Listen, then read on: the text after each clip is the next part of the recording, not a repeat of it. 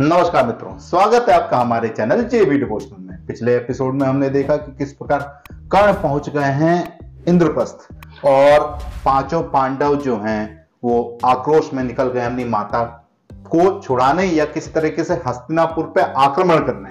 या यूँ कह लें कि यदि धृतराष्ट्र से बात करके माँ कुंती को वो ला सकते हैं नगर पूजन में तो उस प्रकरण के लिए। बहुत वासुदेव भी निकल रहे हैं साथ में अच्छी चीज़ तो ये है हम्म, क्योंकि जहाँ वासुदेव होते हैं वहाँ कुछ अनिष्ट नहीं होने बहुत स्पष्टीकरण के साथ युधिष्ठिर ने उनको बताया है कि मैं तुमको नहीं रोक सकता हूँ। अगर तुम लोग वहाँ जाना चाहते हो तो जा सकते हो। मैं हमला नहीं कर सकता या फिर मैं आदेश नहीं दे सकता। लेकिन एक शर्त रख दी है युधिष्ठिर ने कि पहला हमला अगर आपने किया। वार अगर तुम लोगों ने किया तो मैं नगर का त्याग मैं राज्य का त्याग कर दूँगा। फ़िलहाल चलते हैं हम एपिसोड 129 पार्ट वन के लिए।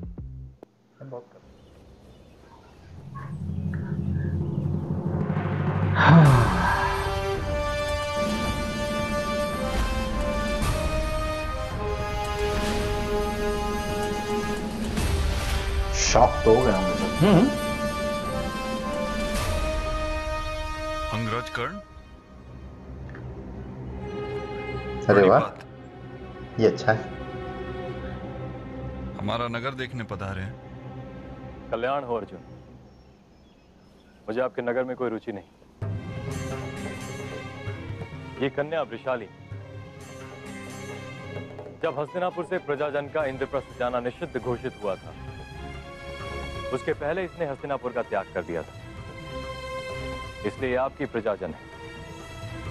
इसे सुरक्षित यहाँ पहुँचाने आया हूँ मैं। अपनी सुरक्षा का क्या प्रबंध किया इंगराज? अरे भूल गए? हमारी माता को बंदी बनाया है। भाई जो मिले उसी पे आक्रोश कर दे पहले। सारी प्रजा को बंदी बनाया है हस्तिनापुर ने। प्रजाजन बंदी नहीं कुमार सहदेव। केवल व्यवस्था बनाए रखने के लिए कुछ समय के लिए उन पर यह बंधन डाला गया है। युवराज दुर्योधन अवश्य ही अपने प्रत्येक प्रजाजन के सुख दुख का विचार करेंगे। और कुमार नकुल, राजमाता कुंती हस्तिनापुर में बंदी नहीं, राज परिवार की सदस्य हैं। उन्होंने स्वयं यहाँ न आने का निर्णय लिया है। असत्य! हमारी माता नगर पूजन में क्यों नहीं आएगी? विवाद मत करो नकुल पात्र की छवि को यह अधिकार नहीं होता कि वो किस दिशा में बैठे। उसका पूरा जीवन केवल पात्र और प्रकाश पर निर्भर होता है। इनका पूरा जीवन दुर्योधन के पे आश्रित होगा। अंगराज क्या जाने कि सत्य क्या है और असत्य क्या है? तो केवल भ्राता दुर्योधन के शब्दों को रटते हैं। मैंने अंग के राज्य का त्याग कर दिया अर्जुन। अब मैं एक सामान्य प्रजाजन हूँ। मुझे तुमसे युद्ध करने में कोई मर्यादा नहीं और न तुम्हें होगी। धनुष उठाओ। अभी जब देखो तब तो उठाओ धनुष उठाओ धनुष उठाओ धनुष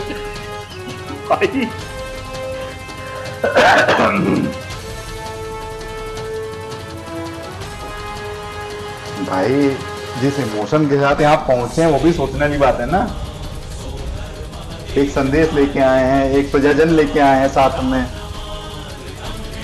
दुर्योधन का सारा जो गुस्सा है, वो इन पे फोड़ दिया।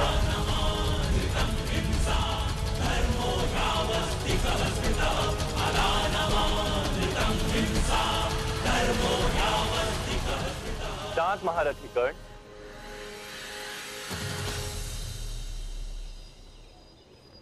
युद्ध करने का कारण होगा तो युद्ध भी अवश्य करेंगे। अभी वो समय नहीं आया है।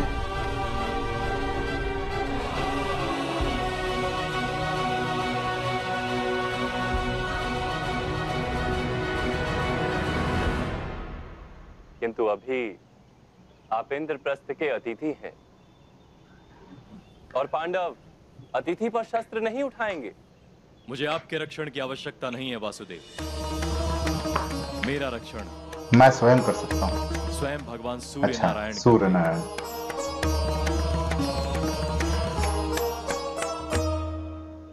मैं यहाँ पांडवों का अतिथि बनने नहीं आया हूँ। उनकी माता का संदेश उन तक पहुँचाने आया हूँ।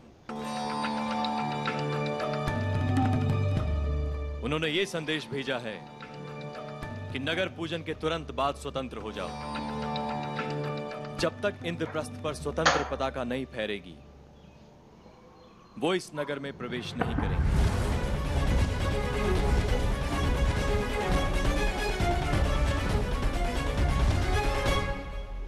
ये संदेश आप लेकर आए महारथी कर्ण? अपने प्रिय मित्र को नहीं बताया? मैं युवराज दुर्योधन का मित्र हूँ। गुप्तचर नहीं।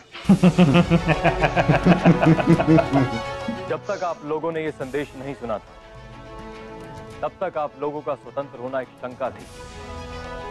और शंकाएँ बताने का कार्य गुप्तचर का होता है। किंतु अब ये एक जानकारी है जो मैं अपने मित्र को अवश्य दूँगा। यहाँ से रिटर्न होने के बाद पहली जानकारी वहाँ। अगर आप तक ये ना पहुँचा होता और यदि युद्ध हुआ तो मैं ज़रूर रहूँगा। तो अपने मित्र के रक्षण के लिए सबसे पहले मैं खड़ा रहूँगा। जी ये तो नहीं कह रहे। ये नहीं सुधरने वाला। मुझे सिखाता। अद्भुत महारथी कर्ण आपसे यही अपेक्षा थी।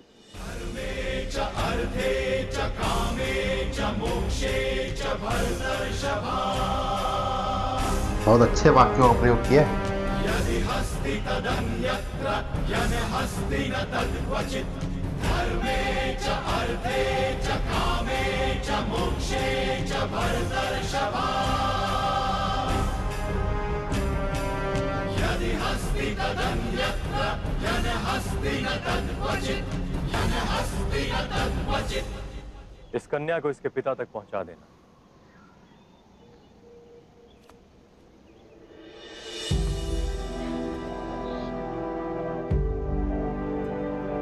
अब यहाँ से मिलने के बाद, ये कैसे मिलेंगे? क्योंकि हस्तिनापुर कोई जाएगा नहीं, वो हस्तिनापुर, यहाँ इंद्रप्रस्थ में आएँगे नहीं तो कैसे ये क्या? मतलब हो सकता है इतना ही साथ लिखो इतने अनभिज्ञ भी ना बनिए आप। ठीक है।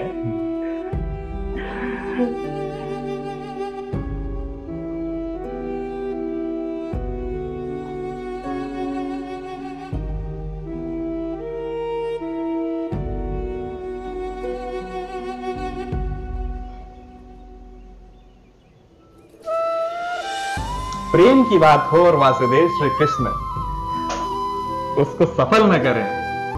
ये तो हो ही नहीं सकता संभव हो सकता है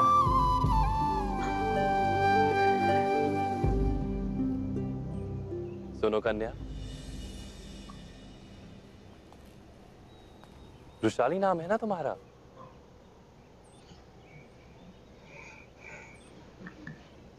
उस जैसा वीर पुरुष दूसरा नहीं मिलेगा। क्या बात है क्या बात है क्या बात तुम्हारे और उसके बीच अंतर बढ़े उससे पूर्व। यदि तुम्हारी इच्छा हो तो उसके पीछे जा सकती भगवान कभी कुछ करते नहीं है बस मार्ग दिखा धक्का दे देते थोड़ा सा यू। गिरना है तो गिरो नहीं गिरना तो मत गिरो। अब इमोशन तो आ रहे थे लेकिन पैर नहीं आगे जा रहे थे। गिरने का तात्पर्य मेरा प्रेम से है।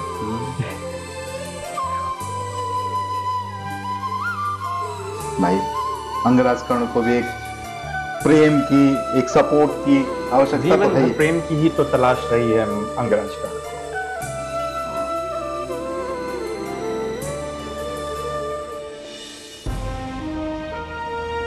एक तो अंगराज कर्ण चल भी बहुत तेज रहे हैं बेचारी से।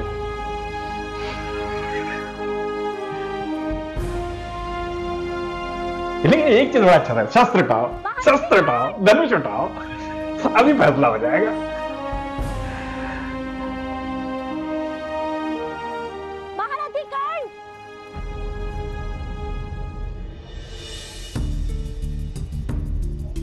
तो डीडीएलजे वाला सीन दे दिया यार। हाँ भाई पीछे सरसों के फूल। कहीं महारथी कर्ण को ये ना लगे कि अस्वीकार तो नहीं कर दिया। नहीं। अभी तो कुछ ना कुछ बात बातचीत तो होगी कुछ ना कुछ तो बात होगी। ये बात भी तो आवश्यक है।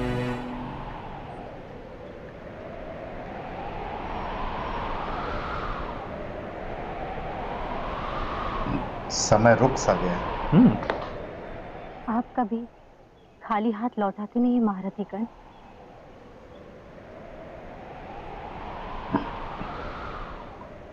एक दान मुझे भी मिलेगा? अवश्य।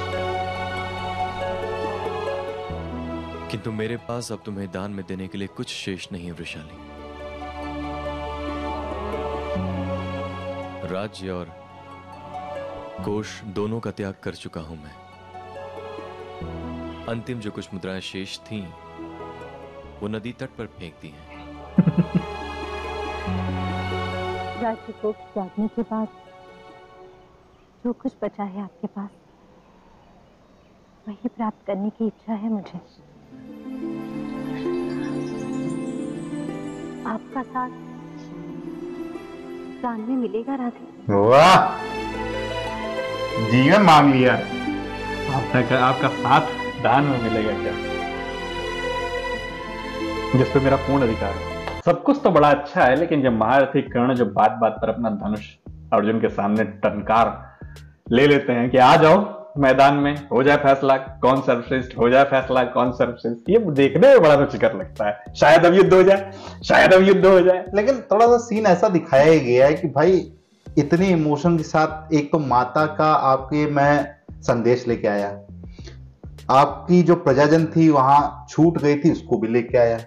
उसके बाद आप जितना भी धृतराष्ट्र या दुर्योधन से जितना भी आपका आवेश था, वो सब आपने मुझ पे निकाल दिया। खैर, अगर बात करें महारथी कर्ण की, केवल उनके व्यवहार और व्यक्तित्व की तो देखा जाए तो एक ऐसा व्यक्ति जो आपकी परम शत्रु का मित्र वो आपका भी परम शत्रु हुआ। उसके बावजूद वो आपकी माता का संदेश लेके आया। धर्म के अनुसार उसने राज्य का त्याग भी कर दिया। हम्म। तो कहीं ना कहीं परिस्थितियाँ कुछ ऐसी बन रही हैं कि हो सकता है महारथी कर्ण धर्म के मार्ग पे चले। लेकिन जैसा कि हम एक चीज़ तो पता ही है कि महाभारत के युद्ध में कर्ण और अर्जुन आमने सामने टकराते हैं। क्योंकि उन्होंने दुर्योधन को ऐसे भी वचन दिया है कि मैंने मित्रता का क्या त्याग नहीं दिया है। और अर्जुन दुर्योधन के सामने शस्त्र उठाएँगे तो उनको सामने कर्ण ही मिलेंगे। देखने में बड़ा मज़ा आने वाले हैं आगे के एपिसोड फ़िलहाल तो ये जो लव स्टोरी चल रही है। इसका थोड़ा समापन देख लें। तब मज़ा आएगा कुछ और। वो मज़ा देखने के लिए आपको चलना पड़ेगा। अगले एपिसोड आधे का आंसर अगले एपिसोड मिलेगा हमको। इस एपिसोड में हम यही विदा लेंगे आपसे। आपसे आग्रह करते हैं कि एक चैनल हमारा जय वीरू भी है जिससे प्लीज़ जाके अपना प्यार थोड़ा सा दिखाइए। आशा करते हैं आप हमें वहाँ भी पसंद करेंगे। फ़िलहाल के लिए राधे राधे